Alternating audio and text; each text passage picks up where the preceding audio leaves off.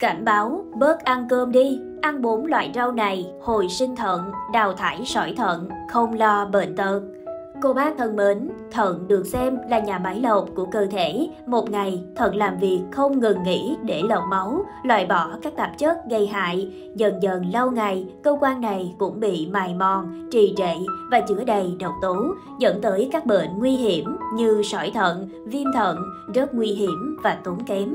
Chính vì thế, việc ăn gì để bổ dưỡng cho thận đang là một câu hỏi được đặt lên hàng đầu. Thấu hiểu nỗi lòng này của cô bác, các chuyên gia đã tìm ra bốn loại rau rẻ tiền, dễ tìm mua, dễ chế biến mà lại có thể khiến thận hồi sinh khỏe mạnh như voi, bắp bệnh tiêu tan, ai cũng nên biết để sống lâu sống thọ. một Hành tây Sở dĩ có công dụng thần kỳ như vậy là vì trong một củ hành tây 70g có chứa hàm lượng natri rất thấp, chưa tới 3mg và các khoáng chất giúp cơ thể chuyển hóa chất béo, protein dễ dàng. Từ đó sẽ giảm bớt gánh nặng cho thận, giúp thận khỏe mạnh và thực hiện tốt các chức năng của nó. Ngoài ra, chất chống oxy hóa mạnh mẽ có trong hành tây giúp triệt tiêu sỏi thận, cải thiện bệnh tiểu đường, giảm nguy cơ bệnh tim và ung thư vô cùng hiệu quả. Tuy nhiên, khi sử dụng hành tây, cô bác cũng cần lưu ý một số điều sau. Cô bác tuyệt đối không ăn hành tây khi bị đau mắt đỏ, đau dạ dày vì sẽ gây ra tình trạng cay nóng, đầy hơi, đau bụng. Và với những cô bác nào mà bị huyết áp thấp, cũng tránh ăn hành tây do có tính lạnh. Nếu ăn nhiều sẽ khiến huyết áp tụt thấp hơn nữa, hoa mắt, chóng mặt, thậm chí là ngất liệm, vô cùng nguy hiểm tới tính mạng. 2. Bí đỏ các chuyên gia dinh dưỡng nghiên cứu và cho biết bí đỏ không những giàu dinh dưỡng mà còn rất tốt cho những người mắc bệnh về thận. Trong đông y, bí đỏ có vị ngọt, tính ấm, bổ thần kinh, điều hòa tỳ vị, bổ khí lực, nhuận tràng. Ngoài ra, bí đỏ chứa nhiều tinh bột nhưng chỉ số đường huyết rất thấp, giúp quá trình lọc máu ở thận được dễ dàng hơn. Vì vậy, bí đỏ chính là thực phẩm cứu tinh cho cô bác nào mắc các bệnh về thận như suy thận, sỏi thận, thận hư, tiểu đường.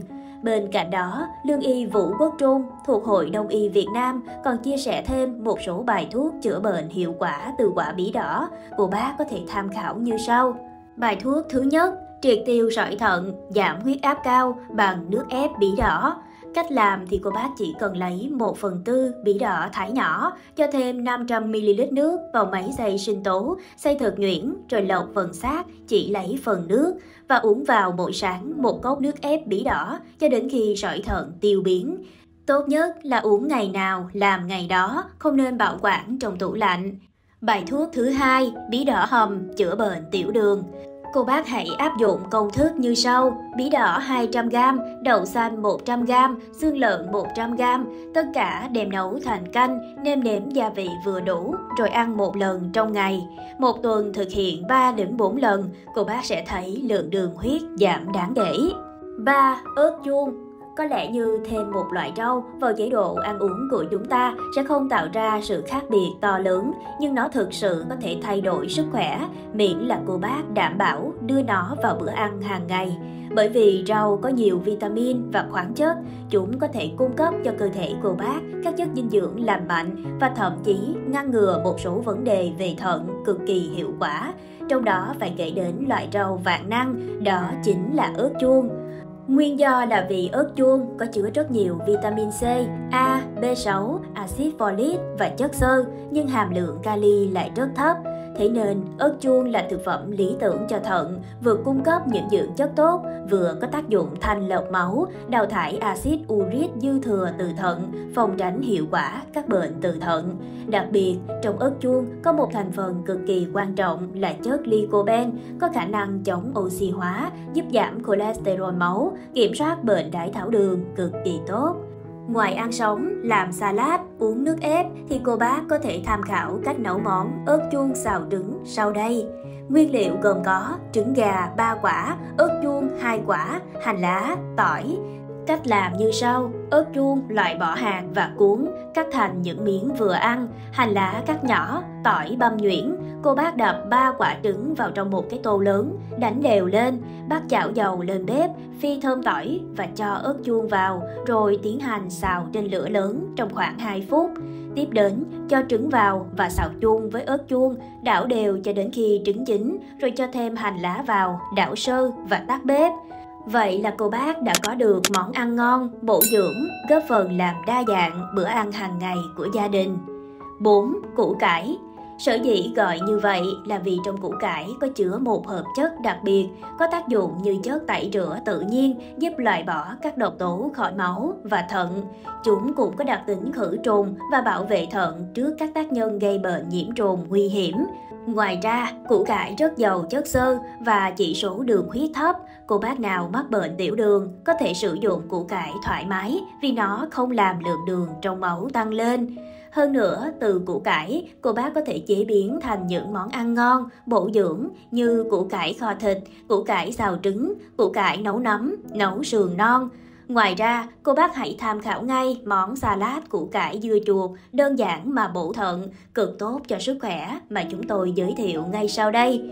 Đầu tiên, cô bác thái nhỏ củ cải, bào dưa chuột thành từng lát mỏng, rồi trộn cùng húng quế, đường, tiêu xay, rồi để vài phút cho thấm. Sau khi các loại gia vị đã ngấm, ta cho thêm giấm và dầu ô liu, trộn đều rồi bày ra đĩa, trang trí và thưởng thức.